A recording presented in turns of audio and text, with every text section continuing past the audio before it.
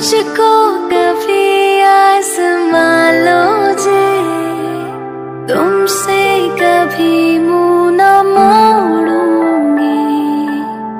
लड़की ये कहती है, लड़के से। दे दो जवाब मुझे जल्दी से। आई हूँ दूर से, करने में दोस्ती। हाथ sabe